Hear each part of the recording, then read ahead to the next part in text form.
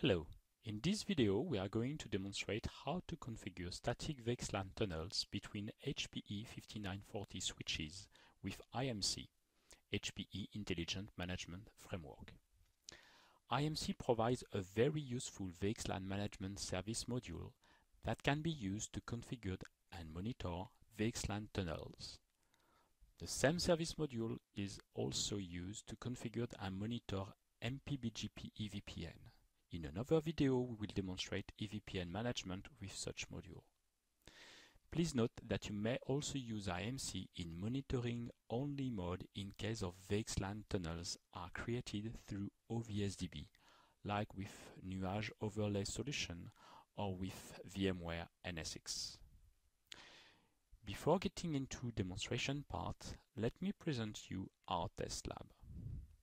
The topology is quite simple. This is a layer 3 IP fabric with two access leaf switches and one core spine switch. All are HPE 5940 switches. The spine, spine 1, is not aware of any layer 2 domains and no VXLAN tunnel is terminated on this unit. Both leaves are VXLAN tunnel endpoint or VTEP. Each VTEP floods the inner Ethernet frame to all the site-facing interfaces in the VXLAN tunnels. To avoid layer 2 loops, the destination VTEP do not flood the received frame back to VXLAN tunnels. One virtual machine is connected per VTEP and our target is to get communication between these two VMs belonging to the same subnet. OSPF is configured so that the VXLAN source and destination IP addresses are reachable. We use here loopback 0. In order to save IP space and ease the fabric provisioning, we use IP address unnumbered interface. Any control plane traffic is sourced from IP address of the loopback. Finally, test traffic consists in checking communication between VMs and to the subnet default gateway. So let's move now to the CLI to check initial configuration of this demonstration. Let's have a look now at leaf 1 switch on the left side. So if I do a display configuration, you will notice that um, I've got OSPF process configured so that I can exchange route information with spine.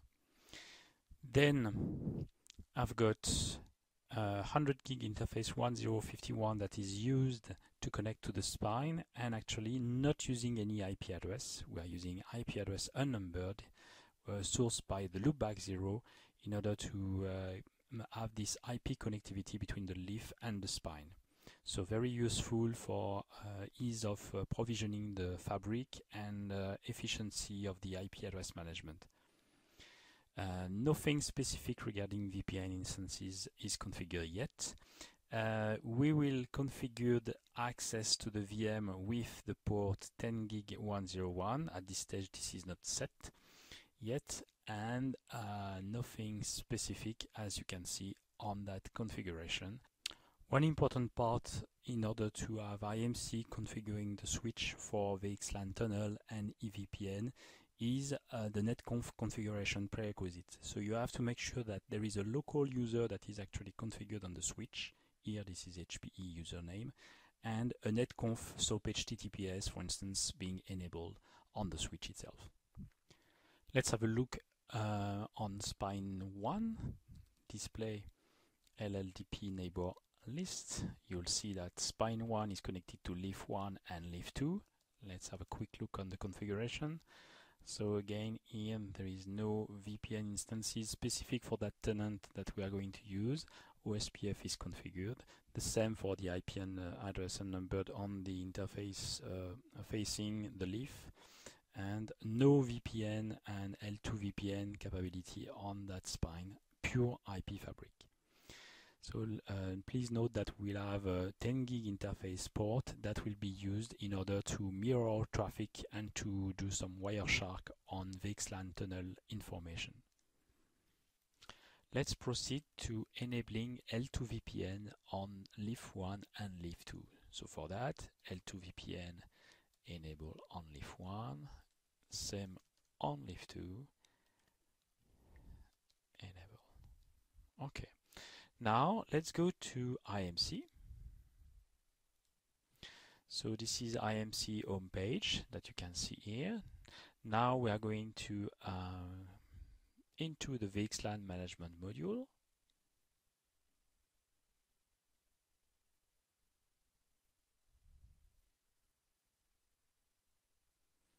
And in the device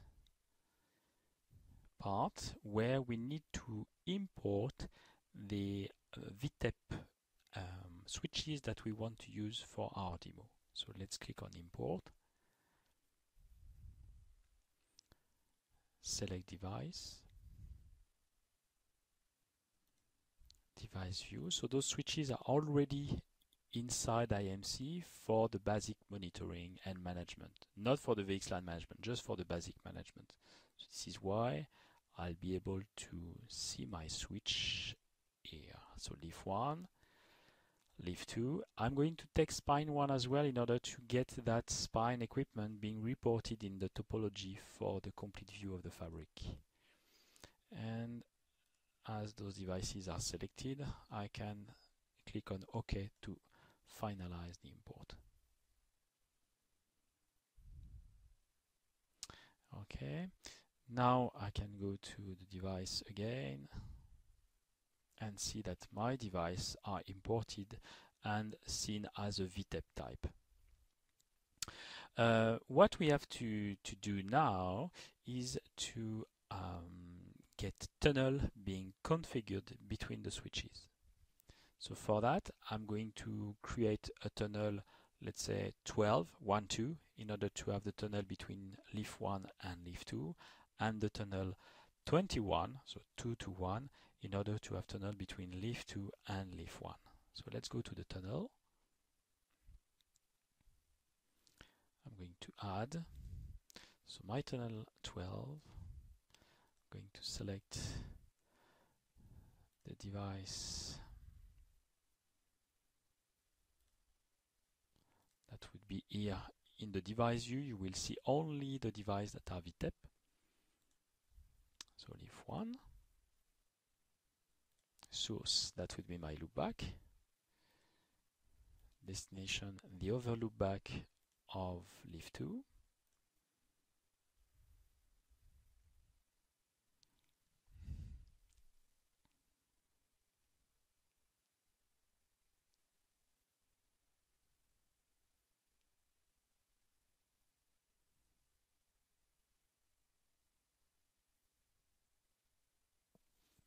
Now that tunnel is created, let's click on add for the other tunnel. That, that one will be configured on leaf 2.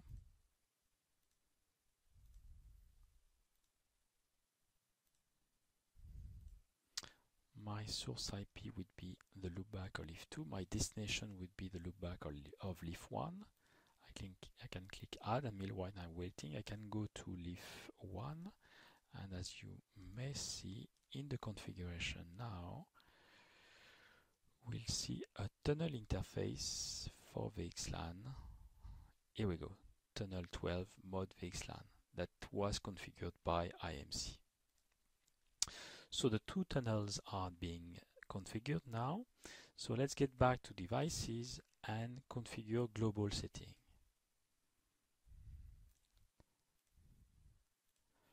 In the global settings section, I'm going to enable the log of any MAC address being changed on the switch and I'm going uh, to enable the remote MAC address learning. So there is in that architecture there is uh, of static VXLAN there is no control plane to learn about the MAC address.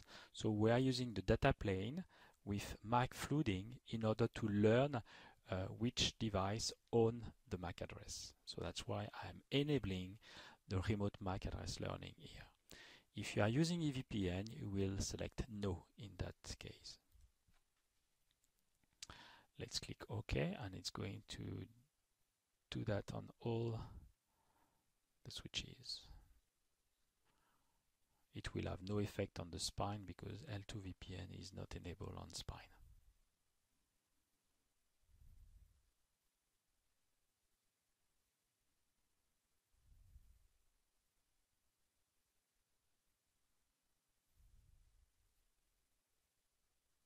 Okay, now let's move to the, uh, the VXLAN part.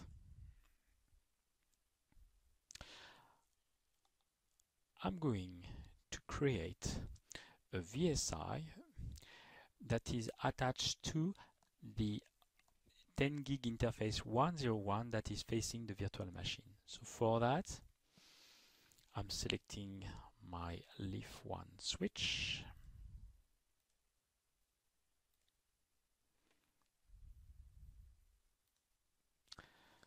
The VSI, so the VSI name that I want is tenant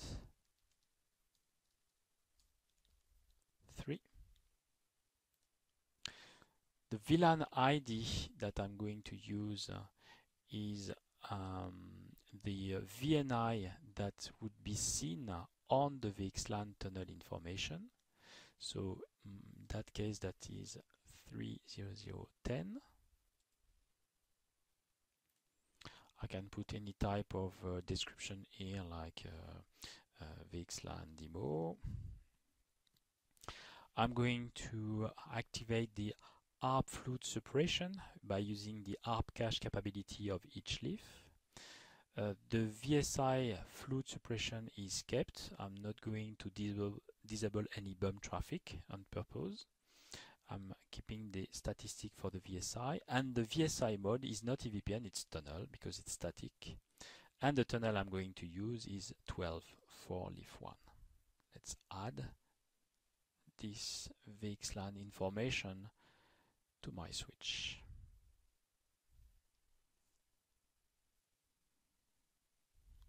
Okay, that has been successfully added. Now I'm going to do the same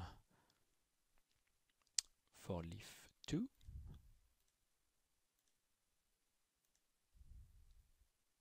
Okay, so the VSI name is tenant 3. VXLAN ID is 310.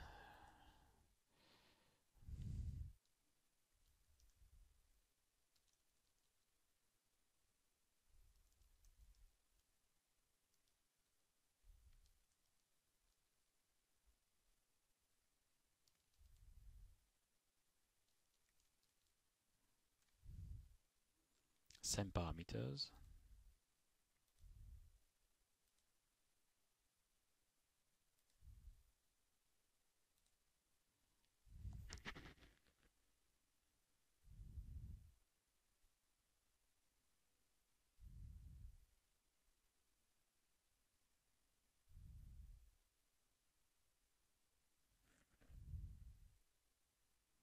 Meanwhile, we can have a look on leaf 1 to see what was configured.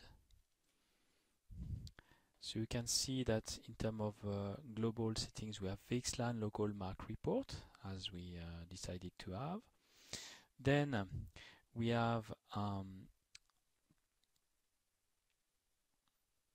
the VSI tenant 3 that has been uh, activated with the VXLAN ID 30010 um, that is associated with the tunnel 12 and that's it. So now that I configured those two VXLAN I can assign uh, an attachment circuit to that VSI so I'm going to do this operation by uh, add service instance and I'm going to add that to the physical port facing the virtual machine.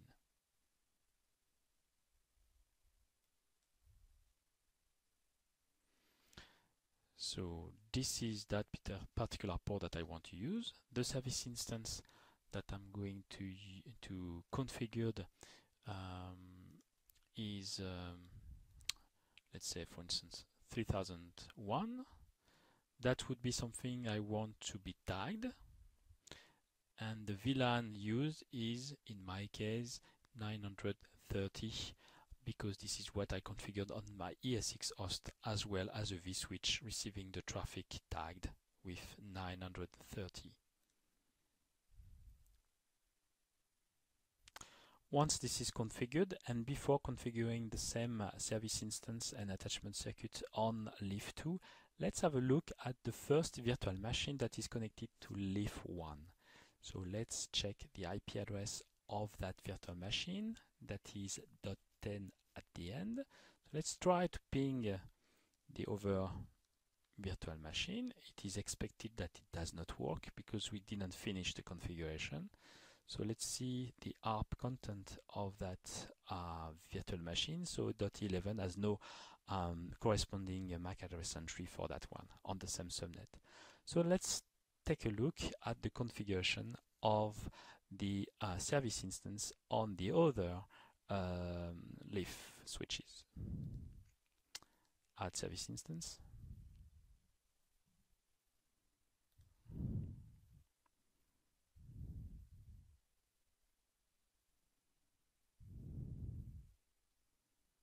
I will select the same 10 gig 101 port. Service ID would be 01 and the VLAN is the same. I can click on add. And meanwhile we are waiting that for being configured. Let's take a look at the ping.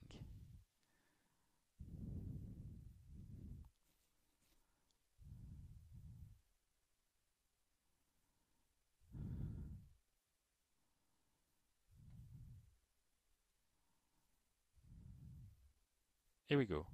You can see now the ping is uh, working. So now I can do arp minus N. You see I've got MAC address resolution for uh, .11. What I can do as well is get into the switch and do a display um, L2VPN MAC address and you'll see that this MAC address of the remote is actually seen behind tunnel 12. If I get into leaf 2,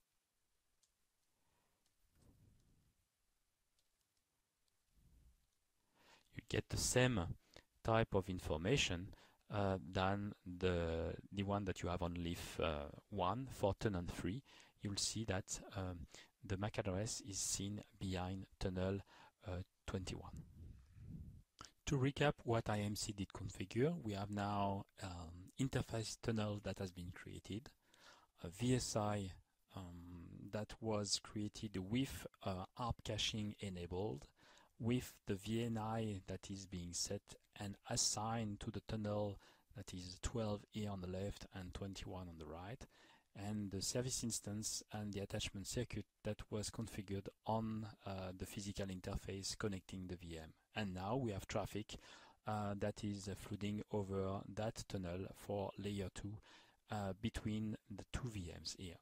So let's stop right now for that first part of the video and the next, next part we are going to focus on layer 3 uh, routing and troubleshooting.